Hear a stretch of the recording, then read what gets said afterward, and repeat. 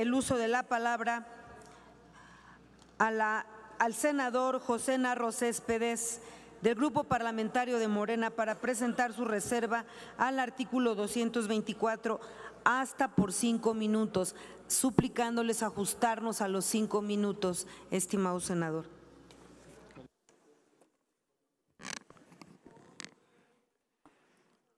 Con su permiso, Presidenta, compañeras y compañeros senadores, pues comentar que este movimiento de los trabajadores del Poder Judicial Federal inició en Zacatecas. Ahí fueron las primeras movilizaciones.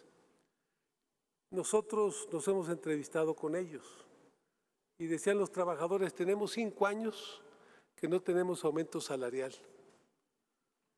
Tenemos cinco años eh, batallando porque muchas de las condiciones de trabajo de nosotros, ahí nuestros hijos, ahí están en los escritorios abajo durmiendo, las secretarias de los juzgados y de los tribunales federales, porque los beneficios y los privilegios dentro del Poder Judicial de la Federación se concentran en la alta burocracia del Poder Judicial Federal. Esa es la verdad. Eso es lo que habría que decir. Por eso nosotros les decíamos a ellos, estamos, nos da gusto que ustedes se movilicen y participen, porque tiene que venir un cambio dentro del Poder Judicial Federal para lograr eh, eh, transformar ese Poder Judicial Federal y que realmente responda a las expectativas de la gente. Un diputado del Partido Acción Nacional que fue presidente del Tribunal Superior de Justicia de Zacatecas, Felipe, Felipe Borrego, fue secretario técnico del Consejo de la Judicatura y después fue consejero de la Judicatura Federal. Y le encargaron un estudio sobre los problemas que tiene el Poder Judicial de la Federación. Y en su estudio, ahí está el estudio de él, se reconoce la enorme opacidad, corrupción y nepotismo que tiene el Poder Judicial Federal y que nunca se ha hecho nada y que nunca hicieron nada. El reparto de los magistrados y los ministros era por cuotas. Fundamentalmente en aquel entonces el PRI le entregó los tribunales al Partido Acción Nacional. Hoy lo que se está planteando es democratizar el tribunal y lograr una gran transformación. Aquí en el país hay reglas para el presupuesto, nadie estamos exentos de eso. El presupuesto se hace anual y los recursos que no se gastan por una dependencia o por uno de los poderes se tienen que regresar, tanto los subejercicios como las economías. Nadie tiene una bolsa aparte para tener algunos privilegios asegurados. Todos tenemos un presupuesto anual. Aquí en el Senado, al final, al principio hicimos un recorte de 1.500 millones de pesos para plantear esta política de austeridad. Y aprobamos una ley, que es la ley, la ley de austeridad, para que todos los poderes, no nada más unos, se tuvieran que sujetar a, a- a esta ley de austeridad y que nadie ganara, como dice la Constitución, por arriba del presidente. Y también se aprobó una ley de presupuesto y responsabilidad hacendaria, donde vienen los tiempos y los mecanismos en que se debe de administrar el presupuesto. Por eso hay un capítulo mil, que es el tema de los, de los salarios y las prestaciones a las que tiene derecho un trabajador.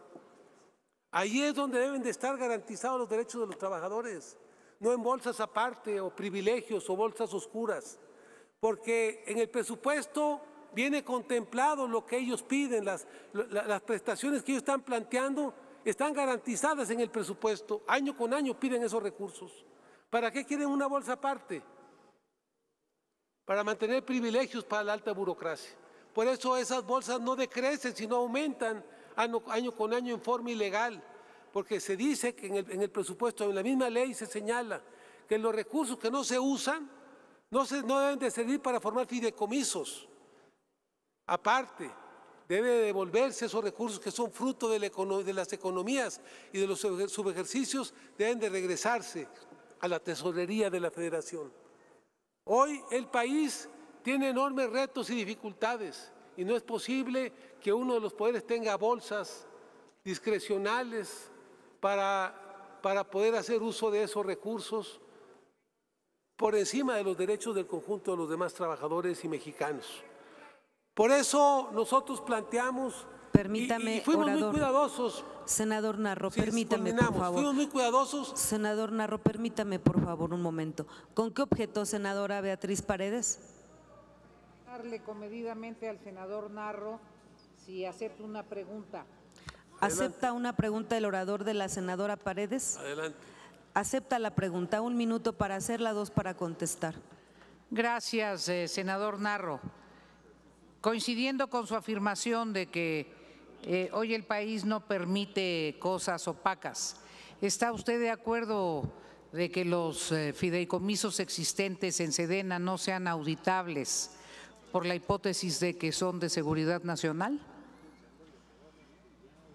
Bueno, nosotros eh, planteamos que todos los fideicomisos, los recursos, usted lo sabe, este, senadora Beatriz Paredes, son públicos. A nadie le está quitando al Poder Judicial un recurso, esos recursos son del pueblo. Igual, y todos los recursos deben ser auditables, transparentes, como lo dice la ley. Por eso nosotros planteamos que nadie puede estar exento del cumplimiento de la ley.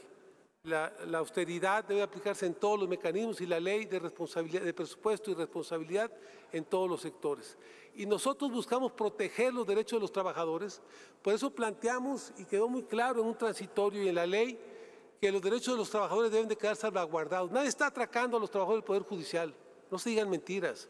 Se están buscando, ahí viene un texto muy claro en los considerandos y en el transitorio, para que lo primero que se tiene que hacer con esos recursos es garantizar los derechos de los trabajadores. Adelante. Eh, permítame un momento, senador Narro. ¿Con qué objeto, senadora Galvez? Voy a hacerle una pregunta, si me lo permite. Adelante. Acepta la pregunta del orador. Un minuto para hacerla, hasta dos para contestar. Senador, nadie puede estar de acuerdo que haya privilegios en exceso. Yo creo que en eso estamos de acuerdo. El tema es, usted mismo ha visto cómo está abandonado el campo y sabe lo que pasó en Segalmex. Y no lo digo yo, lo dice la Auditoría Superior de la Federación, 15 mil millones de pesos de quebranto y de robo en Segalmex. Es el equivalente a, a los fideicomisos que se quieren quitar. Entonces me parece una incongruencia que no se investigue a Ignacio Valle y que se le quiera quitar a los trabajadores derechos laborales, porque la verdad es que sí se le está quitando. Ahí hay, un considerando que habrá que ver qué, qué hace el gobierno, pero yo, yo creo que sí es un atraco y lo vamos a impedir. Pero, ¿qué opina de que en Segalmex Nacho Valle esté protegido en gobernación y el campo esté abandonado por el quebranto de Segalmex? Nosotros hemos denunciado estas irregularidades y usted lo sabe, y hemos pedido que se hagan las investigaciones correspondientes. No hemos buscado solapar o ser cómplices de lo que ha pasado, que nos parece un atraco en el caso del campo. O sea, un problema porque pues tenemos unos principios, eh, tiene un principio la cuarta transformación y creo que hacer eso para muchos de nosotros es un doble problema. Por eso creemos que hay que luchar y en muchas cosas podemos coincidir. O sea, creo que hay una lucha contra la corrupción y creo que este tipo de cosas tienen que investigarse y que sancionarse a los responsables. Entonces, nada más decirles que nosotros eh, lo que planteamos es eh, eh, salvaguardando los derechos de los trabajadores, que es algo que buscamos que en el dictamen esto, esto se mantuviera.